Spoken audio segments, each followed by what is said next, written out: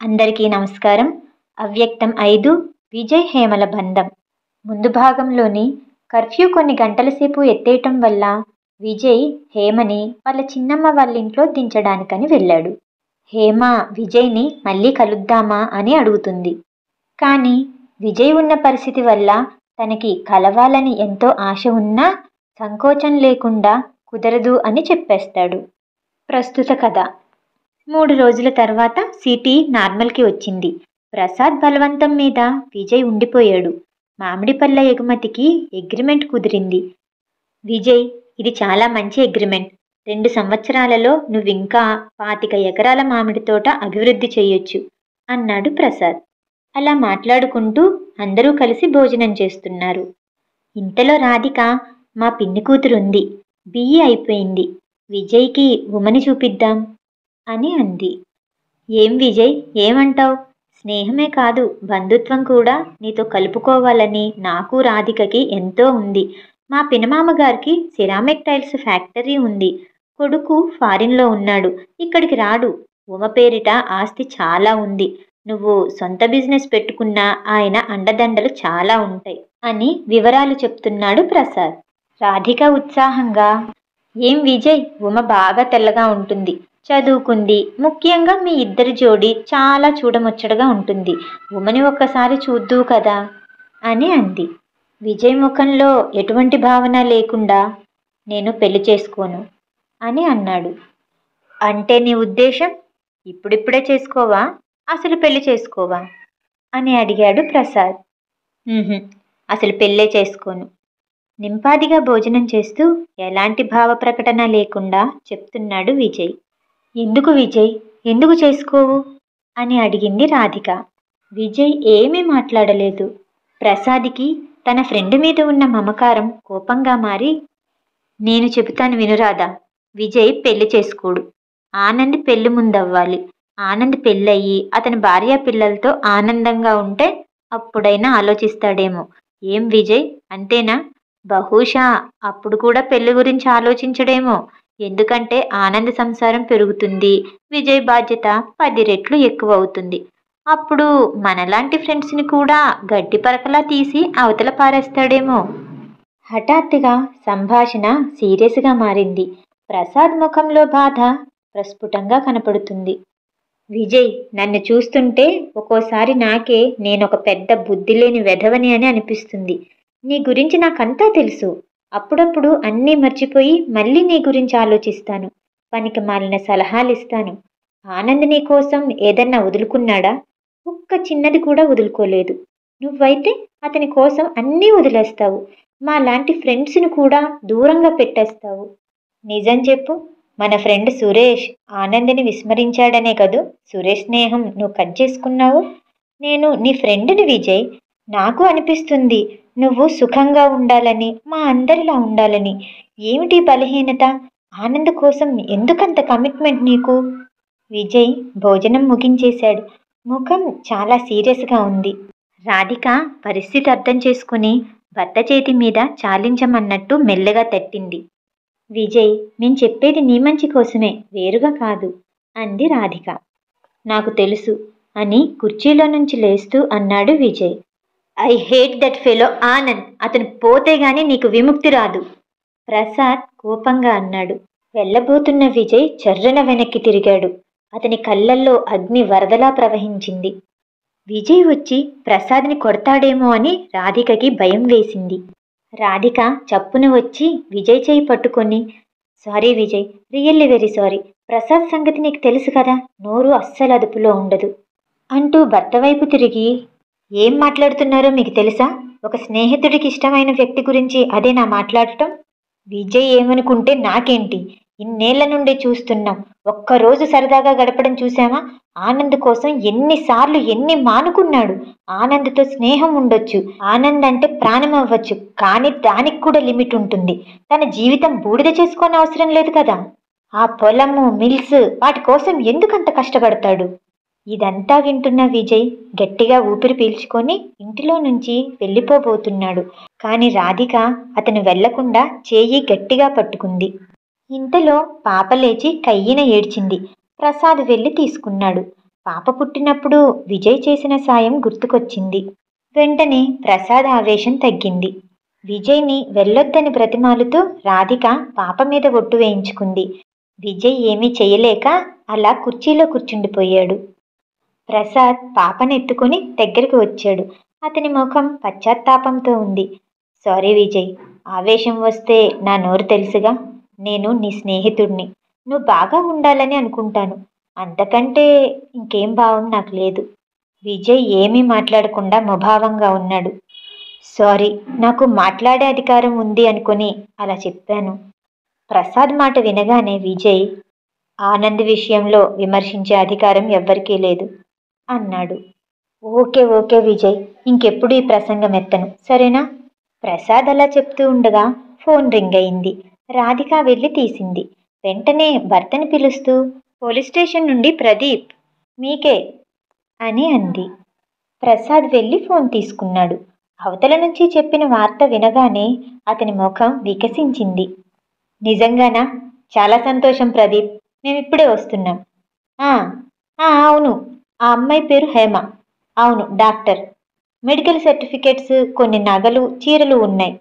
Yes వస్తున్నాం. నువ్వు ఉంటావు కదా? ఓకే.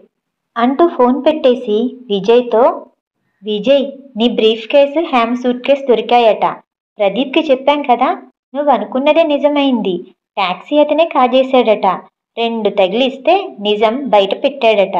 స్టేషన్కి వచ్చి వస్తువులు చూసుకొని తీసుకోమంటున్నాడు. అబ్బా దొరకటం ఎంత విశేషం? అంది రాధిక ఆనందంగా. ఆ మన ప్రదీప్ ఉండి ప్రత్యేక శ్రద్ధ తీసుకోబట్టి ఇంత త్వరగా తెమిలింది. పద విజయ్ వెళ్దాం. అని బయలుదేరబోతూ ఆగి హేమకి కబురు చేద్దాం. మళ్ళా ఉందో లేదో? అన్నాడు ప్రసాద్. మీరు వెళ్ళండి. నేను హేమకి కాల్ చేసి విషయం చెప్తాను అని అంది రాధిక.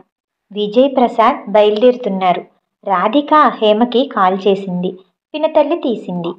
హేమ పని మీద వెళ్ళిందమ్మా ఒక అరగంటలో వస్తుంది నీకు ఫోన్ చేయమంటాను అని చెప్పింది ఆవిడ రాధిక సరే అని ఫోన్ పెట్టేసిందో లేదో మళ్ళీ కాల్ వచ్చింది.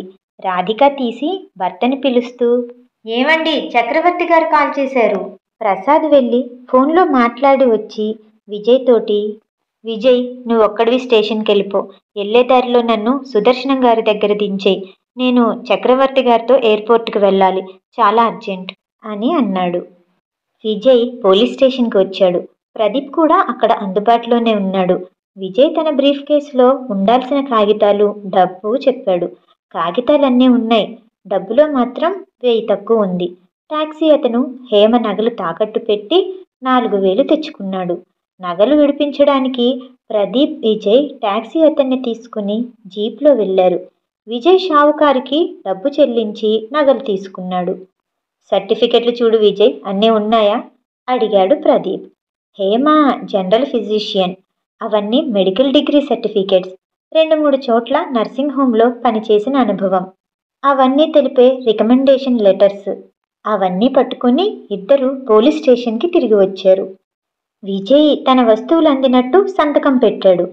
విజయ్ తెలిసినట్టుగా సంతకాలు పెట్టిన పెద్ద మనుష్యుల చేతనే హేమ కాగితాల మీద కూడా పెట్టించారు. ఇంకొన్ని కాగితాల మీద మాత్రం హేమ వచ్చి స్వయంగా సంతకం చేయాలి అని చెప్పాడు ప్రదీప్. ఆ మాట చెప్తుండగానే ఎక్స్క్యూజ్ మీ అంటూ గుమ్మంలో నుంచి వినిపించింది. ప్రదీప్ తలెత్తి చూశాడు. మిస్టర్ ప్రదీప్ కావాలి. ఆ కంఠం వింటూనే విజయ్ తిరిగి చూశాడు. హేమ కూడా విజయ్ని చూసింది. కానీ మరుక్షణం అతన్ని అపరిచితుడిలా చూసి తల తిప్పేసుకుంది. హేమ గుమ్మంలోనే నిలబడి రాధిక ఫోన్ చేశారు. ప్రసాద్ సూట్కేస్ దొరికిందని చెప్పారట. నా పేరు హేమ. ఆ మాట వినగానే ప్రదీప్ నమస్తే రండి రండి.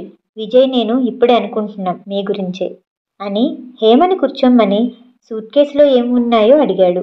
హేమ చెప్పగానే వెరీ గుడ్. కానీ మీ సిల్క్ చీరలు మాత్రం లేవు. నగలు తాకట్టు పెట్టాడు. వాటిని విజయ్ డబ్బు చెల్లించి తీసుకొచ్చాడు. మీరు విజయ్కి నాలుగు వేలు చెల్లించాలి. అది ఇక ఆ బీదవాడి దగ్గర నుంచి రాబట్టడం కష్టం. మీరు నలభై వేలు పోయాయి అనుకునే కంటే ఆ నాలుగు వేలు పోయాయి అని తృప్తిపడటం చాలా మంచిది. అప్పటికే కాగితాలు చూసుకుంటున్న హేమ సర్టిఫికెట్లు తీసుకొని గుండెలు కదుముకుంటూ ఓ గాడ్ ఇవ్వండి నాకు చాలా ముఖ్యం. పొయ్యాయి అని చెప్పి డూప్లికేట్స్ తెచ్చుకోవచ్చు? కానీ ఒరిజినల్స్ నాకు సెంటిమెంట్ అని చెప్పింది. అలా పావుగంట తర్వాత హేమ ప్రదీప్కి థ్యాంక్స్ చెప్పి వెళ్ళటానికి లేచింది.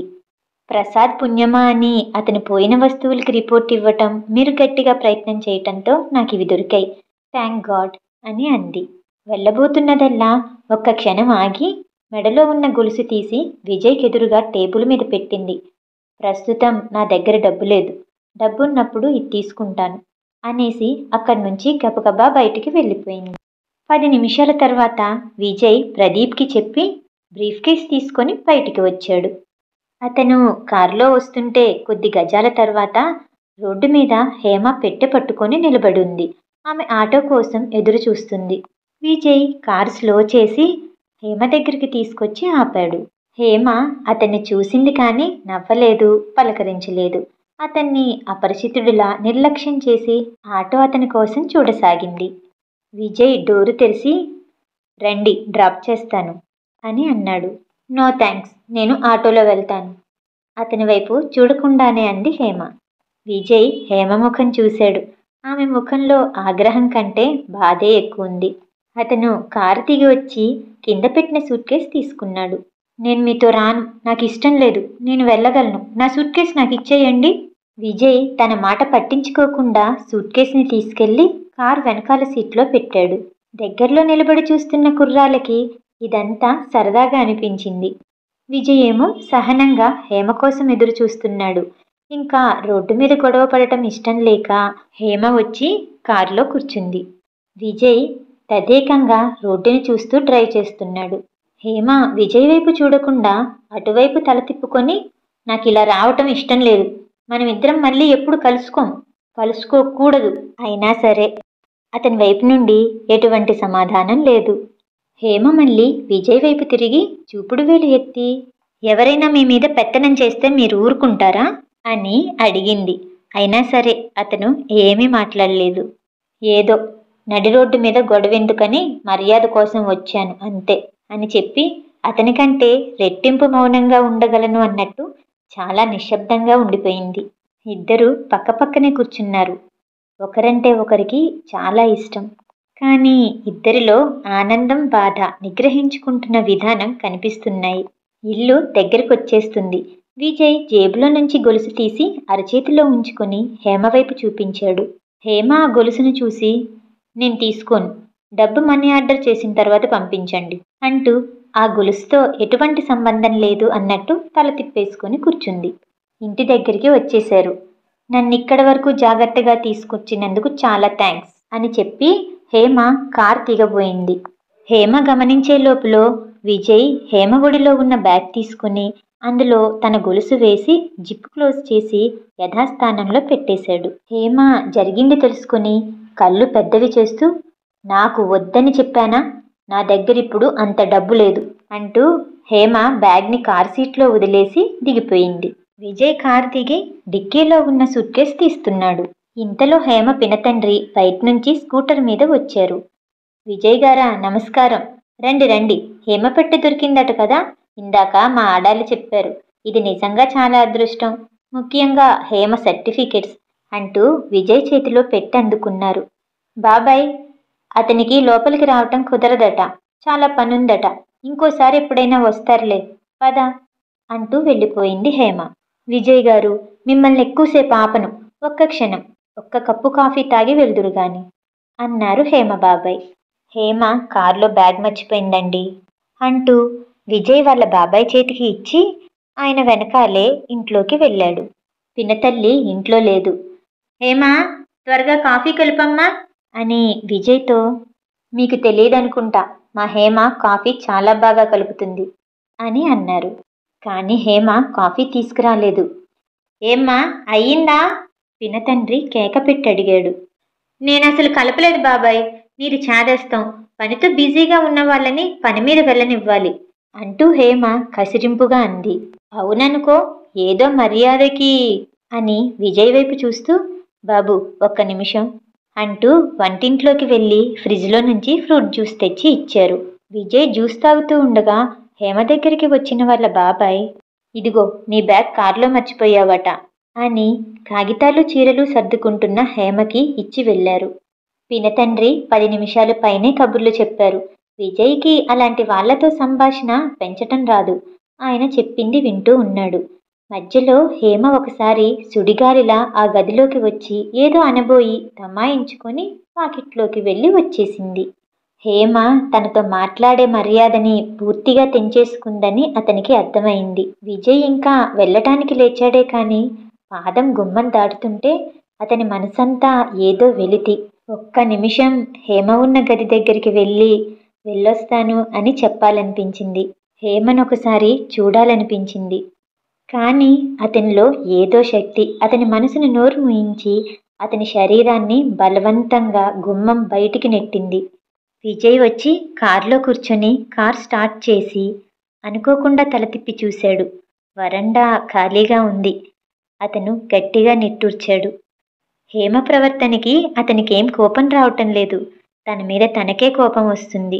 హేమని మర్చిపోలేకపోతున్నందుకు. మళ్ళీ మనం కలవటం లేదు అని ఖచ్చితంగా చెప్పాడు. కానీ మళ్ళీ చూడాలనిపిస్తుంది. హేమని పోలీస్ స్టేషన్లో చూశాక తనని పదే పదే చూడాలన్న ఆశ మరీ రెట్టింపు అవుతుంది. అన్నిటికంటే ఎక్కువగా హేమతో అలా మాట్లాడి మనసు కష్టపెట్టినందుకు సారీ చెప్పలేదని చాలా బాధపడుతున్నాడు. అలా ఆలోచిస్తూ డ్రైవ్ చేస్తుంటే అతని కళ్ళకి డాష్బోర్డ్లో ఇరుక్కొని తెల్లటి కాగితం కనిపించింది. అతని కనుబొమ్మలు అదేమిటో అర్థం కానట్టు ముడిపడింది. డ్రైవ్ చేస్తూనే అతను డాష్ బోర్డ్ తెరిచి చూశాడు. చుట్టిన తెల్లని కాగితంలో హేమ గొలుసు మిలమిలలాడుతుంది. అతని కళ్ళు ఆశ్చర్యంగా చూశాయి. తెల్ల కాగితం సరిచేసి చూశాడు. జీవితంలో మళ్ళీ ఎప్పుడు కలుసుకొని వాళ్ళ దగ్గర అప్పు పెట్టడం నాకు ఇష్టం లేదు. హేమ చేతిరాత చాలా ప్రొఫెషనల్గా ఉంది. విజయ్ ఆ గొలుసు అరచేతిలో పెట్టుకొని ఒక్క క్షణం తదేకంగా చూశాడు. మెల్లగా అతనిలో వస్తున్న నిరాశ చెదిరిపోయింది. హేమని మళ్ళీ చూడొచ్చు. ఆ అవకాశం తెగిపోలేదు. అతని గొలుసుని జేబులో వేసుకున్నాడు. ఆ కాగితం జేబులో పెట్టుకున్నాడు. క్షణం క్రితం అర్థవిహీనంగా అనిపించిన ఈ ప్రపంచం అతనికి మెల్లగా మళ్ళీ ఆసక్తిగా అనిపించసాగింది. అతను డ్రైవ్ చేస్తూనే ఎడమ చేత్తో జేబు మీద చేయానించుకున్నాడు. హేమని మళ్ళీ కలవచ్చు అని హామీ ఇస్తున్నట్టుగా ఉంది ఆ గొలుసు స్పర్శ. నాలుగు వారాలు గడిచాయి. విజయ్ హేమని కలవనే లేదు. కానీ హేమ గురించి రాధిక అప్పుడప్పుడు ఉత్తరాల్లో రాస్తూనే ఉంది. విజయ్ పెట్టెలో హేమ గొలుసు అలాగే ఉంది. హేమ డబ్బు పంపలేదు విజయ్ గొలుసు వాపసివ్వలేదు ఆ గొలుసుని ఎప్పటికైనా హేమకి స్వయంగా తనే ఇవ్వాలని అతను నిశ్చయించుకున్నాడు. మామిడి తోట పక్కనే ఉన్న పదెకరాల కొబ్బరి తోట అమ్మకానికి వచ్చింది విజయ్ అది కొనటానికి సన్నాహాలు చేస్తున్నాడు. దీక్షితులు గారు ఇలాంటి వ్యవహారాల్లో విజయ్కి సర్వస్వతంత్రాలు ఇస్తారు. విజయ్ ఆ తోట కొంటానని అనగానే ఆయన మనసులో చాలా సంతోషపడినా పైకి మాత్రం నిర్లిప్తంగా ఏమో విజయ్ అంతా నీ ఇష్టం. నువ్వేది చేసినా ఆనంద్ మంచి కోసమే చేస్తావని నాకు తెలుసు. నేనా పెద్దవాడిని అయ్యాను ఆస్తి అభివృద్ధి చెందితే ఆనంద్ ధనవంతుడవుతాడు. ఆనంద్ ధనవంతుడైతే నువ్వైనట్టే. ముందు ఆనంద్కి మంచి పిల్లని చూసి ఈ వేసవిలో అయినా పెళ్ళి చేసేయాలి అని అన్నారు. ఒక్కోసారి విజయ్కి ఆయన మాటలు వింటుంటే ఆ పెద్ద ఆయన మీద అనవసరంగా కోపగించుకుంటున్నానా నేను అని సందేహం వస్తుంది. విజయ్ ఆ తోట కొనుగోలు అగ్రిమెంట్ వ్యవహారంలో బిజీగా ఉన్నాడు. దస్తావేజ్ రాయటానికి స్టాంపులున్న పేపర్ల కోసం తన గదిలోకి వచ్చాడు.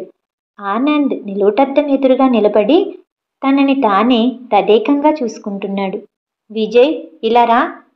కాగితాలు తీసుకుని గబగబా వెళ్ళిపోతున్న విజయ్ని పిలిచాడు. అను చాలా పనిలో ఉన్నాను. తర్వాత వస్తాను. విజయ్ గది దాటి వెళ్ళబోతున్నాడు. నో కుదరదు. నువ్విప్పుడు రావాలి. ఆ పని అవుతుందిలే గాని ఇట్రా అద్దంలో చూసుకుంటూనే అన్నాడు. అతని మాట కాదని వెళ్ళిపోతే తర్వాత మళ్ళీ గొడవే. విజయ్ అయిష్టంగానే గదిలోకి తిరిగి వస్తూ ఏమిటో త్వరగా చెప్పు. అవతల పెద్ద మనుషులు వెయిట్ చేస్తున్నారు. అంటూ తొందర పెట్టాడు ఇదిగో ఇటు చూడు. ఆనంద్ ఇటు తిరిగి సంతోషంగా అన్నాడు. ఏంటి? అంటూ కాగితాలు చూస్తూ తలెత్తిన విజయ్ నిశ్చేష్టుడయ్యాడు. ఆనంద్ మెడలో హేమగొలుసు ఎలా ఉంది విజయ్? చాలా బాగుంది కదూ? ఎప్పుడు కొన్నావు? ఇది చాలా నాజుగ్గా చాలా అందంగా ఉంది. ఆనంద్ గొలుసుని రెండు చేతులతో పట్టుకొని చూపిస్తూ thank you my dear friend. నన్నెప్పుడు ఇలాంటి అనుకోని ప్రజెంటేషన్స్తో ఆశ్చర్యపరుస్తావు. చాలా థ్యాంక్ యూ ఈ వాచి కూడా అలా తెచ్చిందే కదా. ఈ ఉంగరము అంతే. నీ హాఫ్ వైట్ షర్ట్ అంటే నాకు చాలా ఇష్టం. నేను రమ బర్త్డేకి వెళ్తున్నాను. ఆ పెట్టెలో నీ షర్టు కోసం వెతికాను. జాగ్రత్తగా దాచిన కవర్లో ఉంది ఇది. చాలా నచ్చింది. వెంటనే మెడలో వేసుకున్నాను. ఎలా ఉంది చెప్పు? అన్నాడు ఆనంద్ ఇంకా ఆనందంగా. అను అది కాదు. విజయ్ ఆ గొలుసు తీసేసి ఆ కవర్లో పెట్టమని చెప్పబోయాడు. ఇంతలో ఆనంద్ ఫ్రెండ్స్ గిరి సంతోష్ వచ్చేశారు. ఆనంద్ వాళ్ళని చూడగానే సంతోషంగా నేను రెడీ అని విజయ్తో నువ్వు ఈ వెధవ దస్తావేజ్ గొడవలకి రానన్నావు. అందరం కలుస్తున్నాం. మంచి పార్టీ. వెళ్ళొస్తాను. బాయ్ అంటూ వెళ్ళిపోయాడు.